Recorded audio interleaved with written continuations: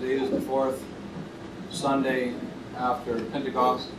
We're here in Kentucky, last day of this doctrinal conference. And uh, ask you to uh, keep in your prayers.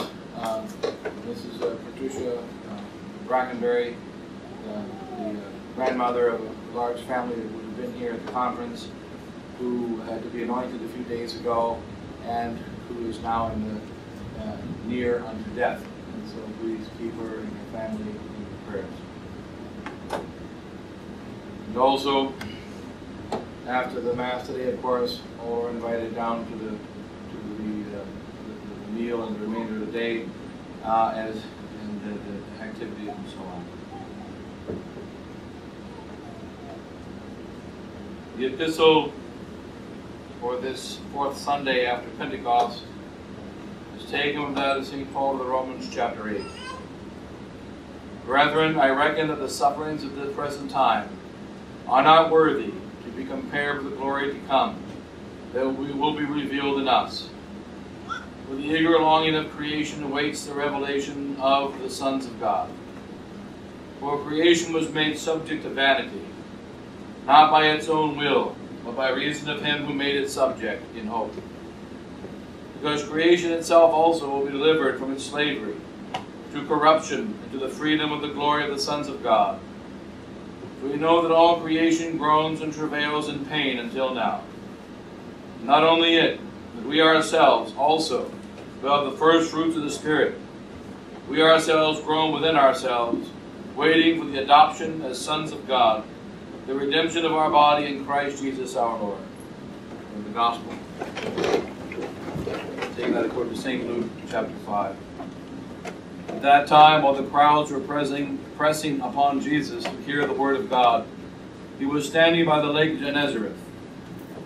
And he saw two boats moored by the lake. But the fishermen had left them and were washing their nets. And getting into one of the boats, the one that was Simon's, he besought him to put out a little from the land. And sitting down, he began to teach the crowds from the boat. But when he had ceased speaking, he said to Simon, Put out into the deep, and lower your nets for a catch.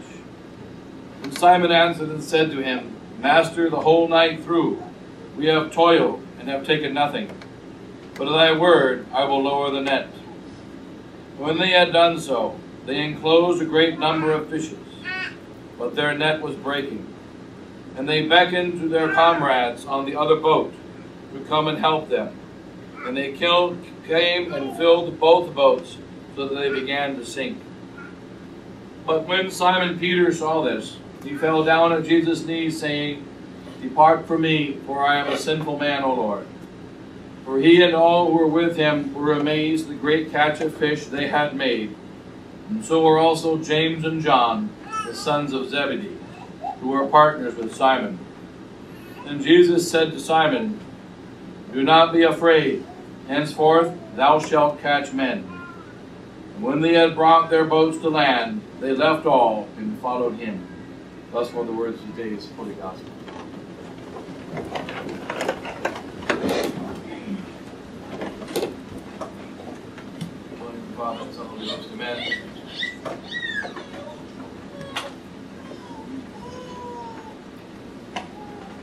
Today we have a double contemplation. Holy Breviary, we read about the day that David went and fought Goliath. After 40 days of battle between the Israelites and the Philistines. And also today is a day we consider also in the gospel the day that Peter began to join the fight. a few considerations concerning this holy fight. What kind of day was it? This is emphasized many times by the Holy Church. What kind of day was it? It says, on the day that God visited Sodom and Gomorrah, it was bright. And Christ also said, on the day that he will come to visit the world, which shall be its final day, it will be also a bright day. They will be given in marriage. They will be burying and being born and dying. They'll be going about commerce do all manner of things that they do every single day. And Christ also said, if you only knew the hour or the day when the thief would come, you would surely be prepared. And then he revealed to us a dogma of our holy church. You do not know the day or the hour. We don't know the day or the hour of the victory of the Blessed Virgin Mary. She shall have her victory over Satan. We don't know the day or the hour of our own death. We don't know the day or the hour of anything that has been predetermined by God of the events of today or of tomorrow. We don't know these things. What happened when David, who was a shepherd, and a young boy and a forgotten one. He was so forgotten for multiple reasons. He was the seventh son, and his six brothers were stronger and tougher than he. He was a musician, and they were fighters and tough guys, shepherds. But though he was a musician, he liked to play his harp, he liked to sing, he also loved the sheep. And one particular day he was given a mission, someone who doesn't know how to fight. Go to see how your brothers are doing. They're warriors. Today he would say, go and watch the documentary. Or go and watch the story of what's going on in the battle. Or if you're really brave, go and be a reporter. He was not going to fight. He was going to where a war was, but he was too young to fight. He had not been trained in combat. He knew he was going to a place where there was a war. He knew he was going to a place of a great battle, and he had visions of the battle Young man comes to the seminary, he has visions of the battle. Young man comes to religious life, he has visions of the battle. Bishop Thomas Aquinas used to say, the abbot of a monastery in South America, these young men come, they have visions of battle. And the visions are from the movies. And the visions are from romantic novels. And they have romantic ideas of what it is to be a soldier. Romantic ideas of what it is to go into battle. And they already know what they're going to see. Because we all know that when you go to battle, you're going to see bloodshed. You're going to hear cannons. It's going to be very exciting. It may be terrifying, but it'll certainly be interesting. And David, the young boy, knew all about battle. He knew all about war, though he was not himself a warrior.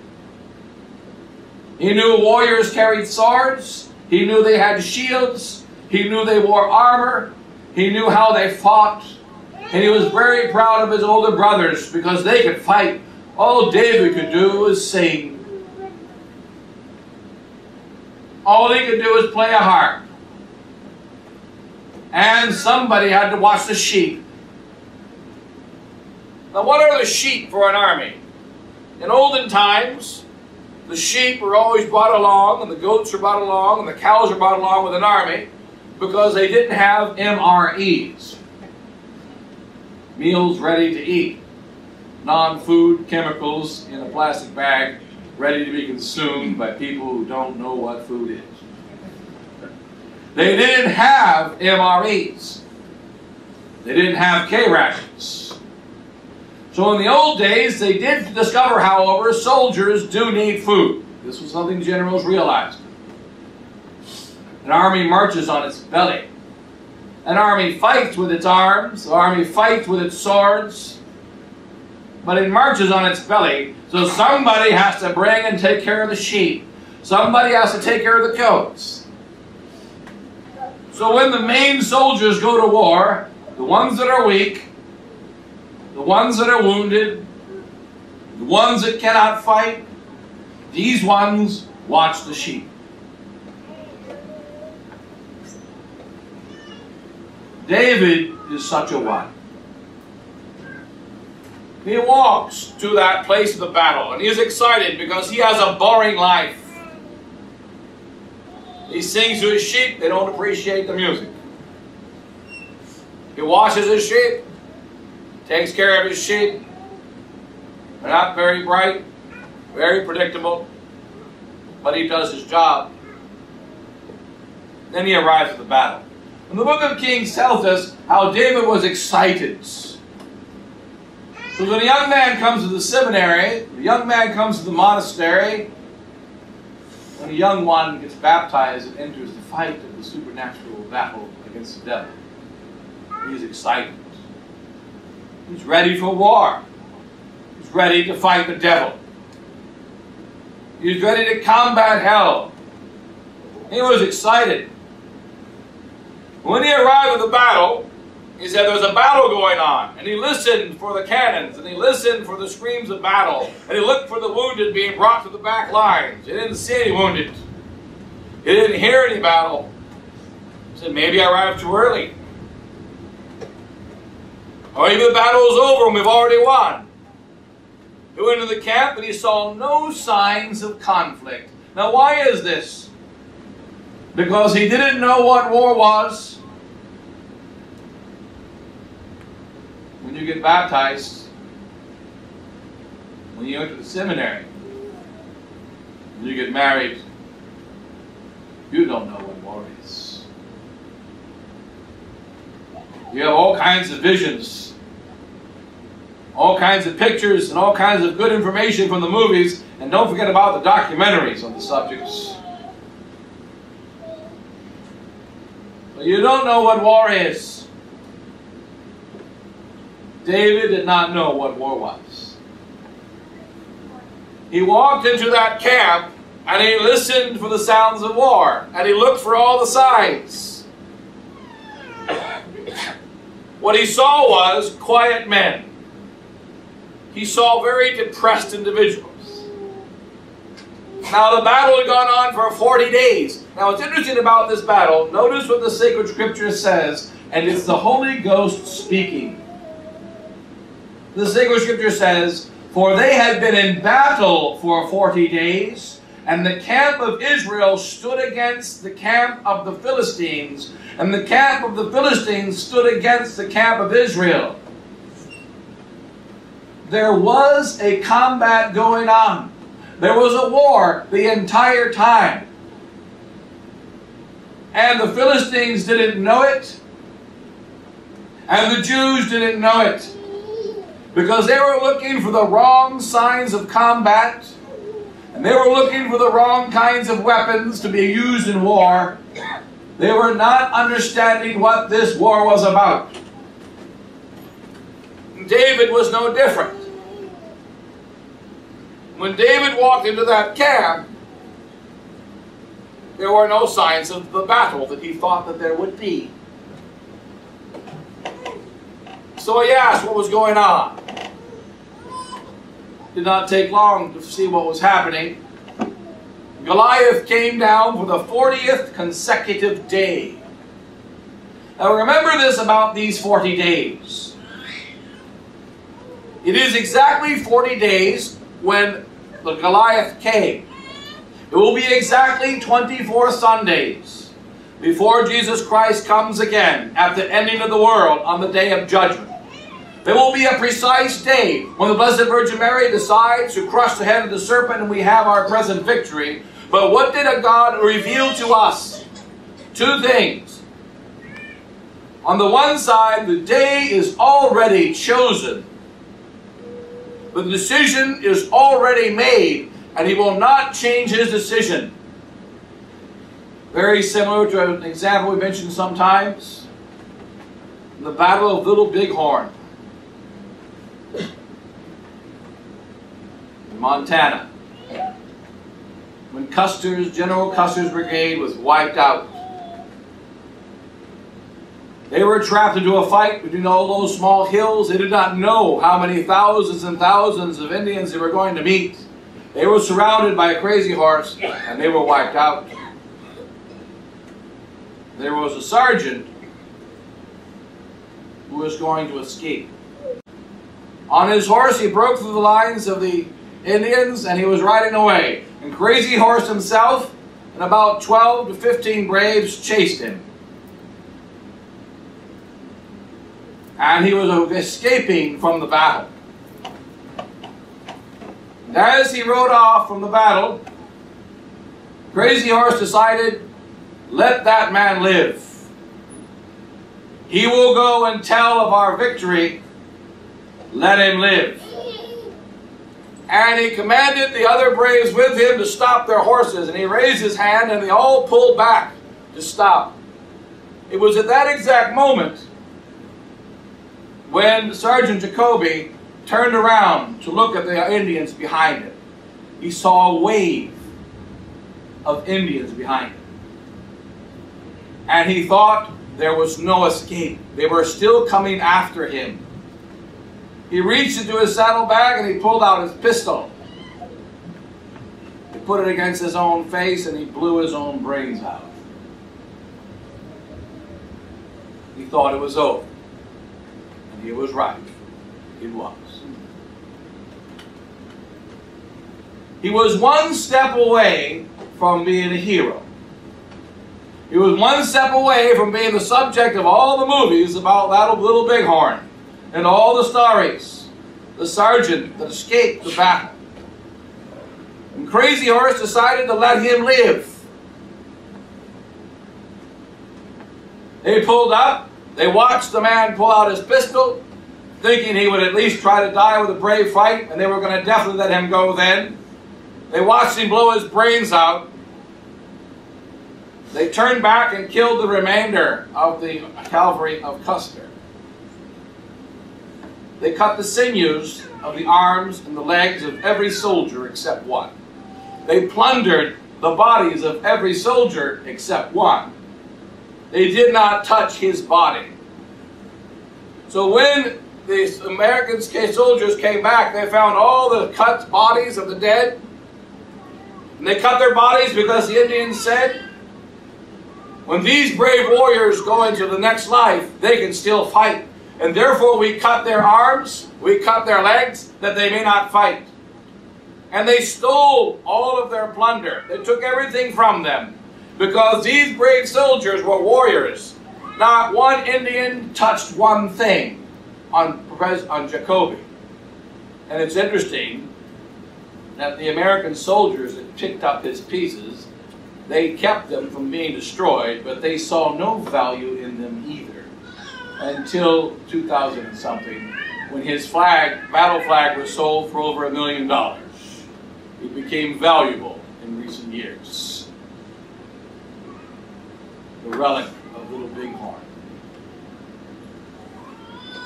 Jacoby didn't know. And we must remember, as the fathers of the church remind us time and time again, you don't know.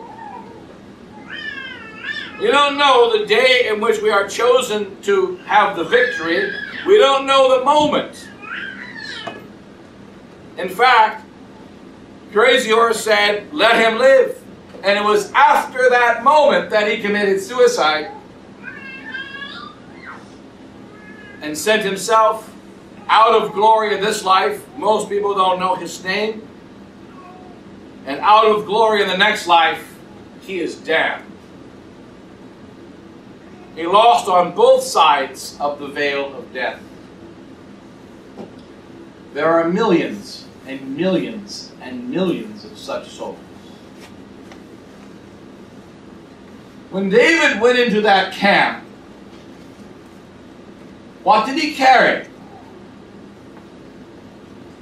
Our Lord Jesus Christ said multiple times, What you do to these least of brethren, you do unto me.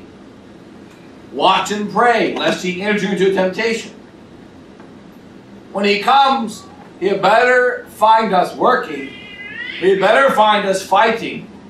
Everyone knows that there is no excuse in our backing down, as we all are accustomed to do. And the devil is trying to get us to say, You've run enough. You've fought long enough. The army is wiped out.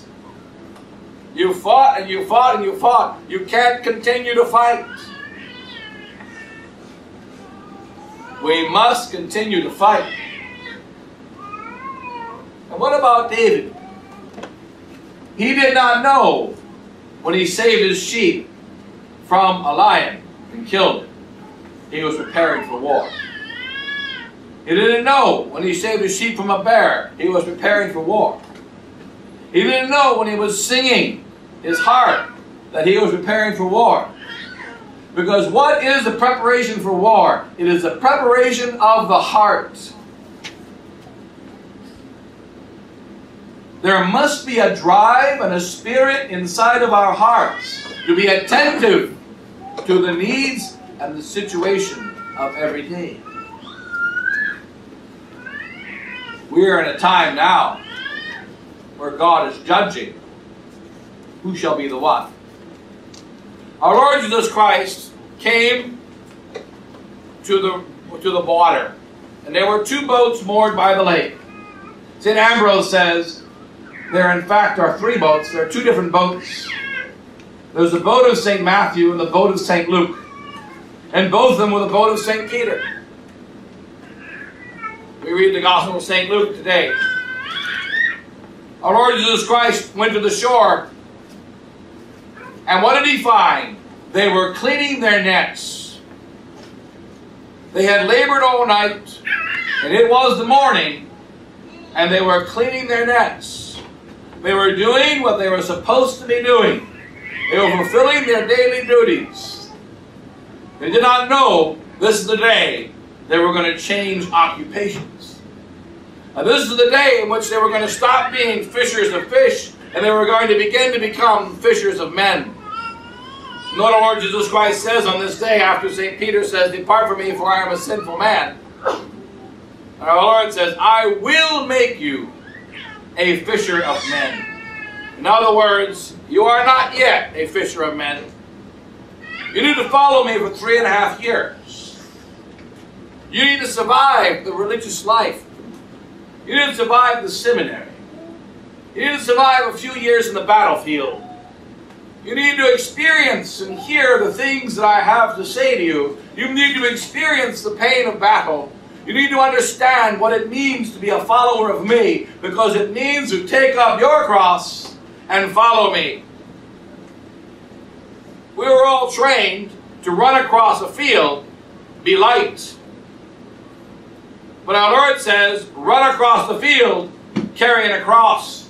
It will be heavy. You will see other sprinters sprinting across the field. But you will sprint with a cross on your back. You will drag it along. They will sprint freely. You will be exhausted. They will not have obstacles. You will have every conceivable and inconceivable obstacle. And they will not be the obstacles that you expect the day you enter marriage. They won't be the obstacles you expect the day you enter the seminary. They won't be the obstacles you expect the day of your baptism. For these are the obstacles of principalities and powers and the lords of this darkness. They are not the obstacles of men, who can only bring out a few bullets and a few beatings. They're the obstacles of principalities and powers. And what is the principality and power trying to do? These devils. They are trying to change our hearts from hearts that know, love, and serve God to hearts that know, love, and serve self. They're trying to transform our hearts that are supposed to be hearts that obey God by loving His creation. and taking care of the welfare of our neighbors and fulfilling the responsibility that we have inside the army of Christ. David's job was to take care of the sheep. Someone had to take care of the sheep. He was to sing a few songs. Somebody had to sing. He sang well. He died rather than lose any of his sheep. He loved his sheep. He was forgotten by his family. Now, why was he forgotten? The fathers give us some reasons. Because remember when Samuel came and said, Isaiah, one of your sons must be the new king. He was very happy, and he got his six sons. And the six sons came, oldest to youngest. And, and Samuel said, Not him, not him, not him. It's none of these. Do you have any other sons? And Isaiah had to think, oh yeah, yeah, I've got another son, the youngest, but he's a little bit unusual. Go find him. And they had to go find him. Why did they have to go find him? And why did they forget that son? Because David's responsibility was take care of the sheep. And where was David? Always with the sheep. His care was always for the sheep. Lions hunt at night. David was not at home at night. David was watching the sheep at night. David was caring for the sheep at night. David was carrying the sheep during the day. David was singing his beautiful music. But it was not heard by his brothers. It was not heard by his family. He sang in the wilderness. He sang in his work. It says in the sacred scripture, work out thy salvation. And when God made Adam, he told him right at the very beginning, he gave him responsibility to work. Work out thy salvation. And it is interesting, one of the great dogmas of the Satan in the last 500 years is the Protestant dogma of you don't need to work. Where does government handouts come from? Martin Luther. That's where it comes from. Martin Luther said, we don't need to work. All we have to do is believe. We don't need to work. Now, this demonic teaching of Martin Luther spread throughout the Catholic Church. It spread inside of our hearts down the last 500 years. And it was very important for this lie, among many other lies, to be put inside of our hearts because the devil is afraid of workers. This is the duty of man. He must work. The duty of woman, she must be a mother. That is her work. That work is continual without break. Men must work. Their work often has breaks, but they must work. What is the work of David? About what did he sing? He sang the, the words that we read in the 150 Psalms. He sang the words which St. Benedict called the Opus Dei. In modern demonic times, they created an organization José Escriva called the Opus Dei, which has nothing to do with opus or Dei. Nothing to do with real work or God.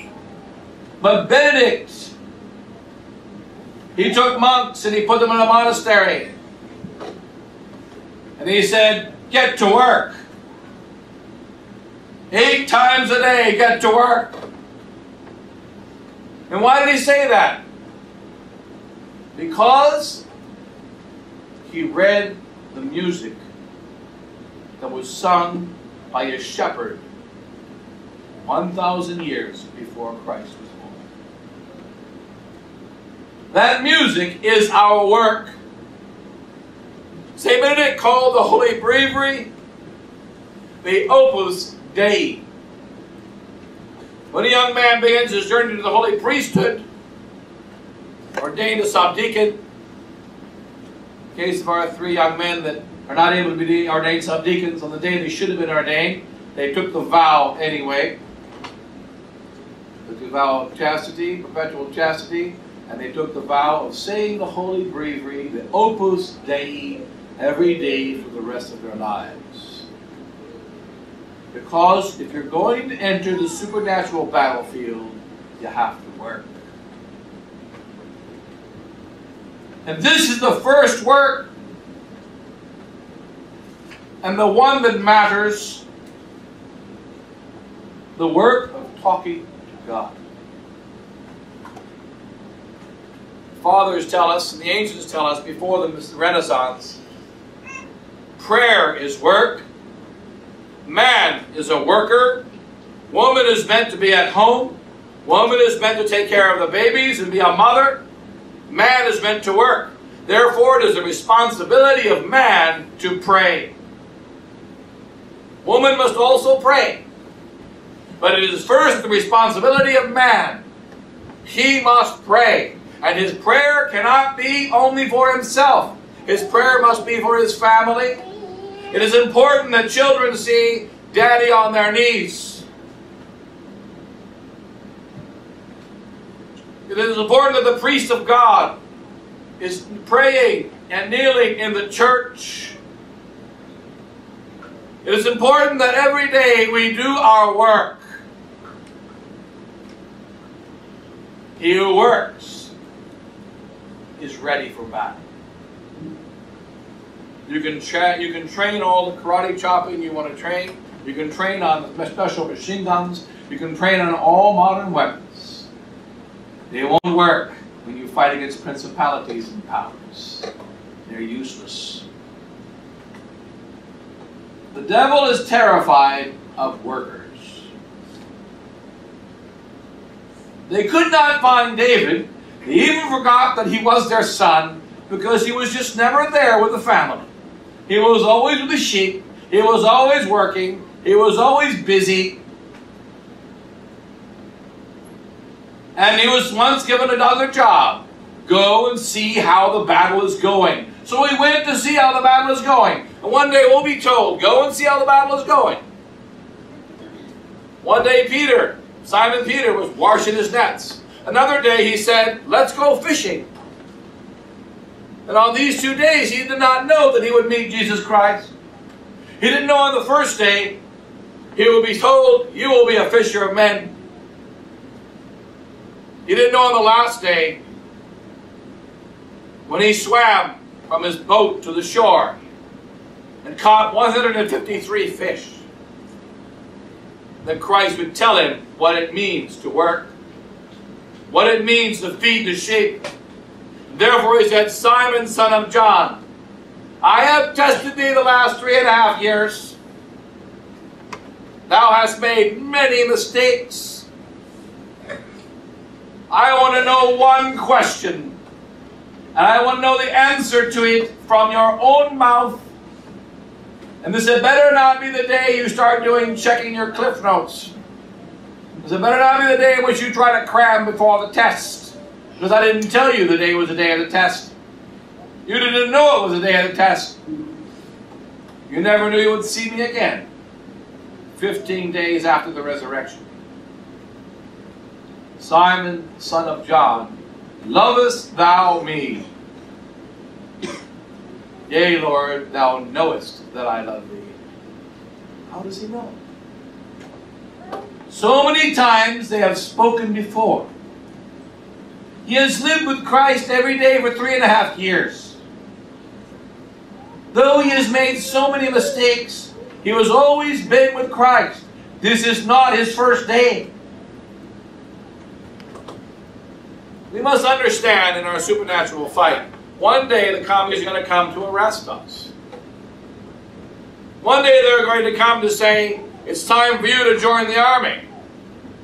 On that day, we had better, we had better be already well trained and practiced warriors. What about the Jewish army? What about the Philistine army? Neither of them were warriors. The Philistines were wimps on one side, and the Jews were wimps on the other side. And they all had swords. And they all had armor and so on. But Goliath, he was a soldier. And Goliath knew what the fight was. He knew that if you're going to fight for a kingdom, you fight one man against all. You fight one man against the whole kingdom. You represent the kingdom with all your being. And if you want to be a fighter, be big, be strong, and practice killing people every day. And that's what Goliath did. He knew how to be a warrior in the kingdom of Satan. He also knew that the warrior of Satan, he wins not only with his sword, for Goliath was very large, but he was not a fool. We often have the idea that a big man is an idiot. Goliath was not an idiot. He knew the importance of psychological warfare. He knew how to intimidate. He knew that even though he was a big man, a little one could kill him. And he knew that the way that he would defeat his enemies was 90% making his enemy believe that he was already defeated and having complete confidence in his own satanic kingdom. And that's what Goliath did. The tall man of pride who stood 10 feet tall. His head would hit the bottom of a basketball rim. He was 10 feet tall. Scripture tells us his height. He was filled with great strength, but he was also intelligent. He knew what real war was, and he fought for Satan. The other Philistines, they were afraid. They were the mediocre warriors in the kingdom of Satan. And the Jews, they were afraid. And they were the mediocre warriors in the kingdom of Christ. They stood against each other for 40 days. One reason they stood against each other for 40 days is because the day of the battle is always going to be the last day. And we will have to have seen that we stood for the 40 days. Ten Commandments and the four cardinal virtues of prudence, justice, temperance, and fortitude must be multiplied together. And we must stand for 40 days. So what is essential in the seminary? Young men must say their prayers. We've had a lot of busy days in the last week or so, a couple of weeks. Late nights and early mornings. You better pray. Make sure you're always doing your opus dei, the work of God. Be attentive to the others. Make sure that those that are out in the field working and aren't able to make it back for lunch, they got food. Be attentive to the guests. Make sure they're taken care of and seated, etc. Don't waste time with yourself. Be attentive to the things that need to be accomplished and work all day and work all night. One day, God will say, This is the day that you will be a martyr. This is the day that you will receive your glory. This is the day of the combat. Remember when David walked in, he had no plan to fight, he had no weapons, and he was not finished with his correct understanding. He did not understand. And though he did not understand, he was like St. John the Apostle. St. John the Apostle on Holy Thursday night, he did not understand. He didn't know it was the Last Supper. He didn't know it would be the last time he could have a long three-hour conversation with his Lord and Master. He didn't know it at all. He didn't even know that he would rise from the dead after he died. But he knew that he loved Christ. And he knew that he had put his head upon his heart. And he knew to be attentive to all things that he does. And therefore, he was ready. Also remember this about the temptations of the devil. Fathers tell us, the devil does not know the exact moment of his defeat. But he has an idea of the approximate time. And when that time is near, He ups his temptations. He makes them go higher and higher. He makes them go harder and harder. Because he knows if you persevere another gallop, if you persevere another trot, like Jacobus, Sergeant Jacobus should have done, you will become a hero.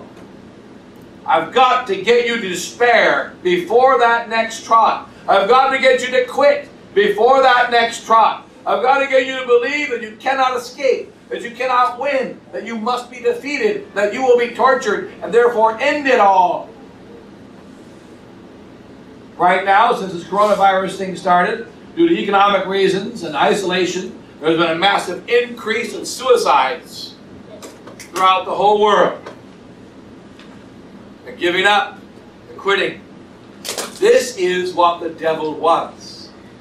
Whenever his, the victory of Christ is about to come, he ups his temptations to quit. This is the most normal thing in the world. We must continue the Opus Dei. Talk to God every day. Make sure that prayer is the heart of our lives. Do the works of charity in our own house, in our own place, where we are. And bear with the tribulations of our neighbors.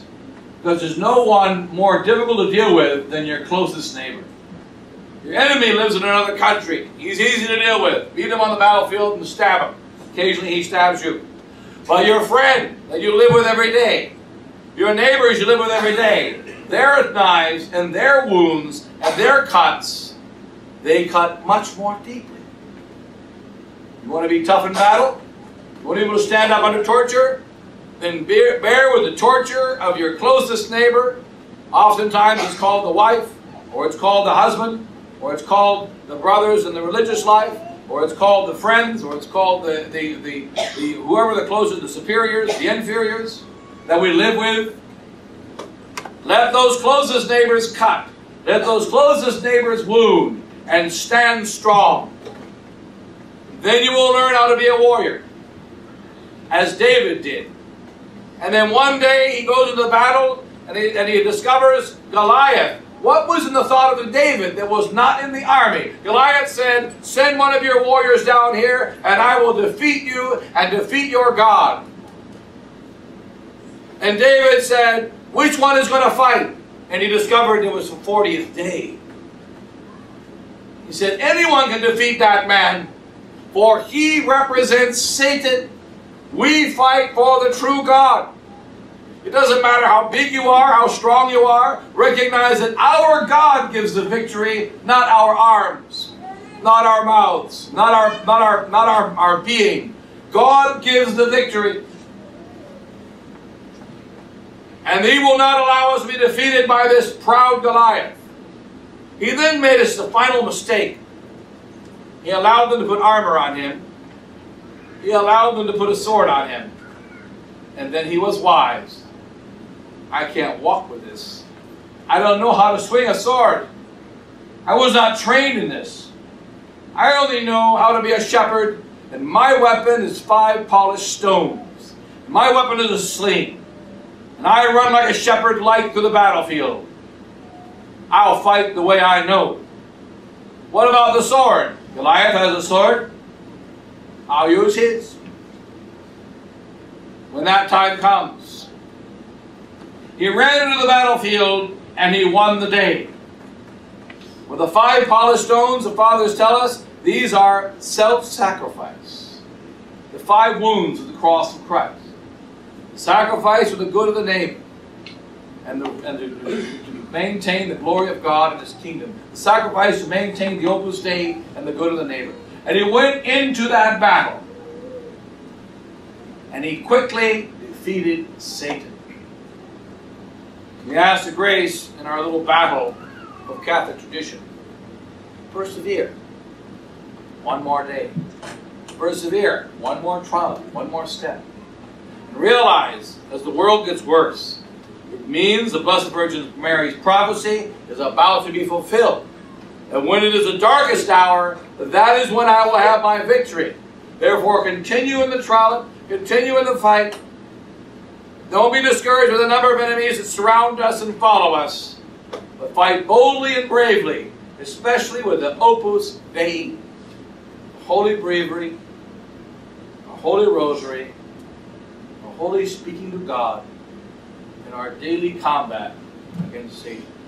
God bless you all in the Father, and Son, and Holy Ghost.